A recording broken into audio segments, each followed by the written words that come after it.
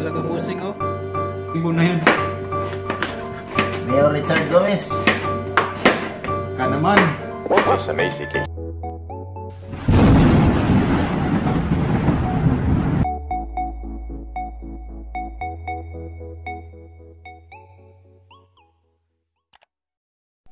Hello! Hello mga kabusing. Ayos ba kayo mga kabusing? Kamusta ang buhay-buhay dyan? Ayos kayo? Okay kabusing, sa araw na to, magluluto tayo ng Ibon. ibon kabusing. Ibon. May nahuli. Pugo. Kahuli kami ng ibon. Pugo mga kabusing. Pogo kabusing. Buti lang nakahuli kami ng limang piraso. So, itry nyo to, ang luto na to. Siguradong Adobong kayo. pugo na may gata. So- With spicy flavor. So, pakita namin ang ingredients kabusing at ang proseso kung paano. Okay? Kabusing! Pugo. Ato gunitan na rin kita. Ito na oh, ang pugo natin. So, ito lang mga ricados natin kabusing. Simpleng pagkain, simpleng ricados. Ito kabusing, pugo. Ito ay bawang, luya, sibuyas, sili, hot sauce, pamintang durog, pamintang buo, magic sarap, patis ay tuyo, sukang pinakurat, at Pure ang gata.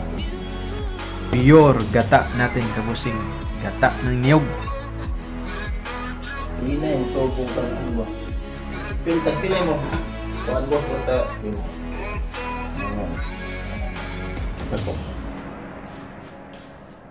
Ito ba Ha?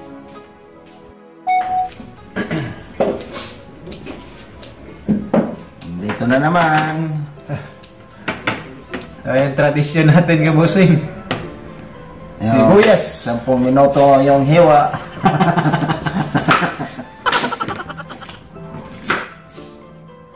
Kuhain na natin yung ibon mga kabusing.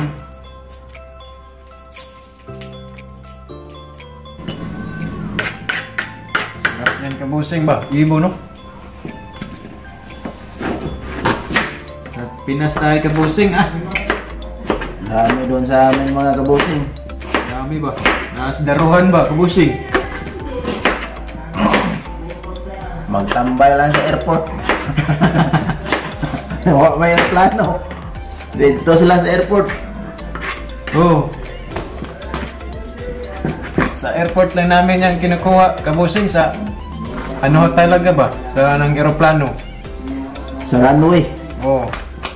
Kasi sa amin, malapit lang kami dun. Tapos wala pang mga flight. Nandun lang sila. yung Mga ibon na yun. Mayor Richard Gomez. Ka naman. Magaling din yan manguha ng ibon. Pinupunting lang yan. Sharpshooter. Sapyoter yung mayor namin doon.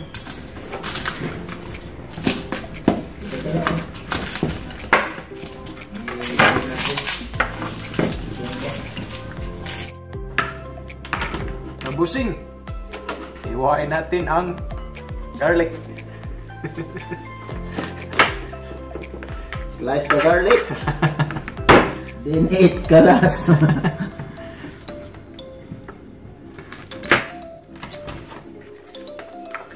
Alam nyo ba kabusing ang paghiwa ng garlic ay may sikreto din?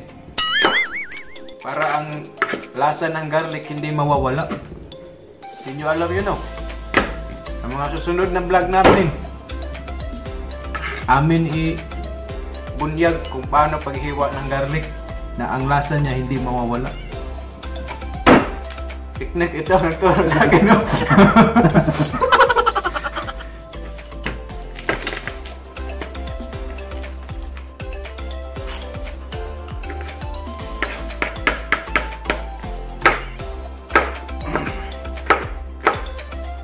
Bibli ang among luto karon mga kabosing.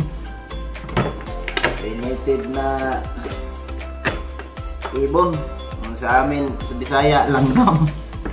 Yung langgam sa Tagalog kinakagat man. Iba yung langgam sa Tagalog kabusing. Yung sa kanila, gumagapang pa. Sa amin, lumilipad na. Nangangagat yung langgam sa Tagalog.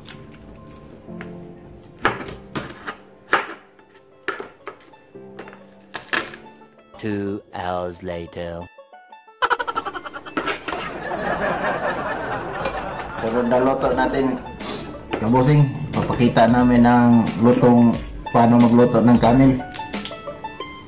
Kabusing, hiwain natin ng luya.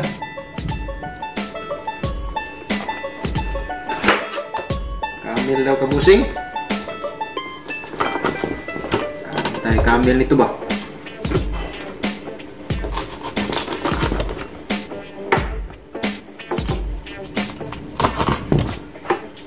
Camel on the mix.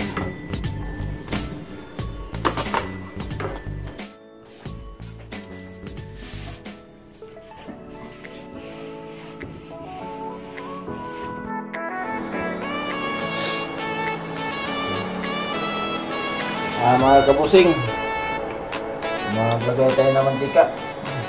Panggisa sa ricados natin, ricados.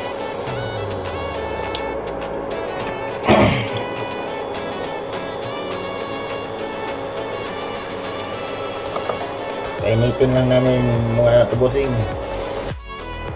Ito natin yung bawang kabusing.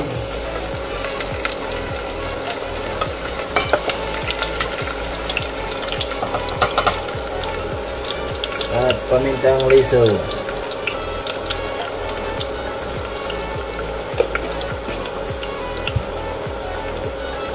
At pamintang durog mga kabusing para mabango. At hintayin na natin na mag golden brown.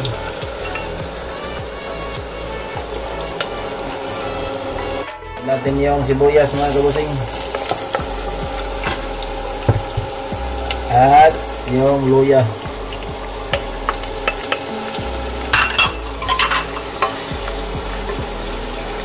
Isa lang natin na mga 5 minutes kabusing para lalabas yung aroma. Sunod pala natin tong sili kabusing. Para may konting kagat. Kagat labi kabusing.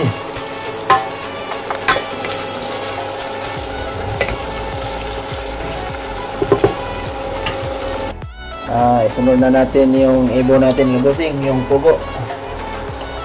Pugo time.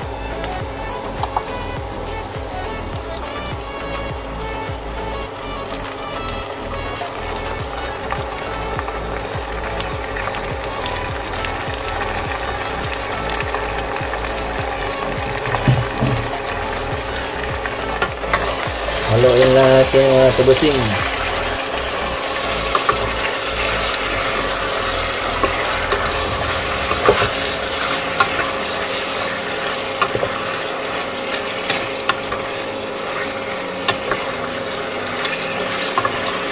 At hayaan natin yung mga golden brown.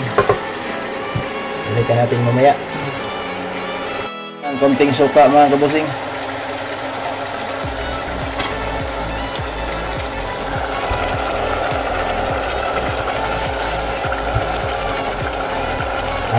Lang natin. At mamaya, lagyan natin ng toyo.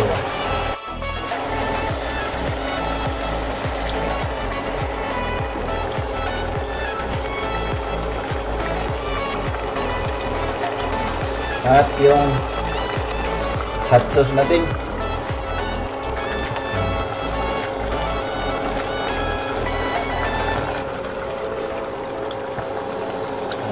Lang natin yung mga kabusing.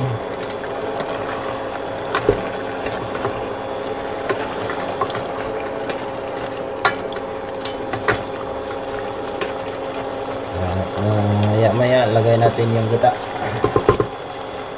Gata. update mga kabusing. Ah, ilagay na natin tong gata.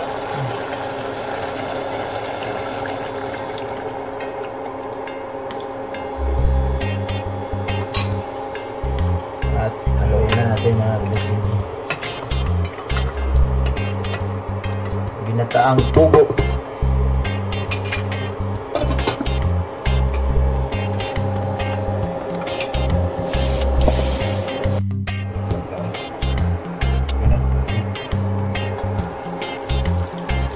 Mga kabusing, patikman pala natin kung tama na ba yung timplada. Ay, ayos. Tikiman time na naman.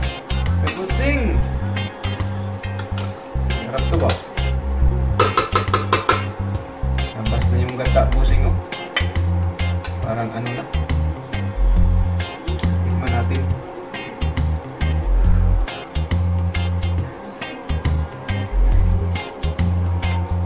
Hmm. Ayos. Harap.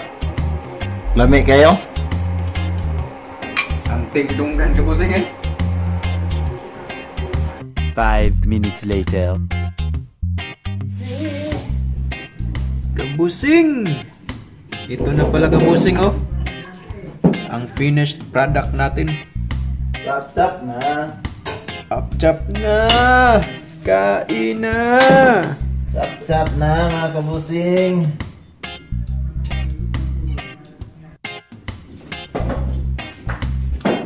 Kain na kabusing! Kain mga kabusing.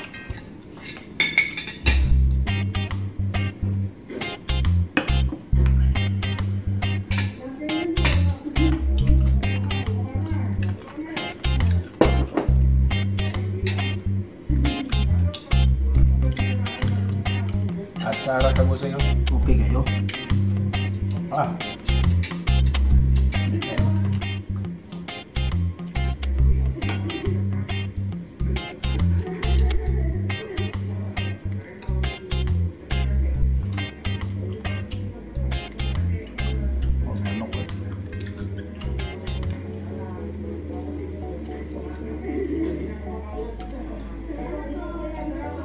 Muna nindot ni Mala na ba?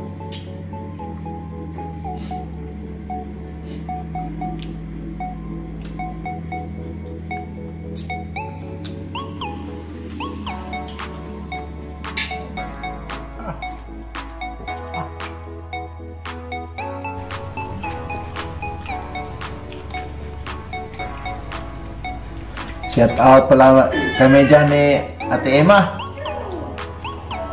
Mga kam taga Camotes Island.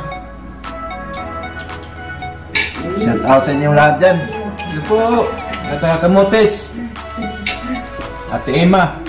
Tsaka yung anak niyan, si ano, DC. Daisy. Shout out sa'yo. Salamat. Salamat sa panonood te. Ay, sige, katawa-tawa niya ha.